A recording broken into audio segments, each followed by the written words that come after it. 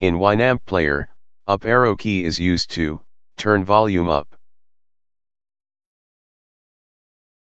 And numeric keypad 8 key is also used to turn volume up.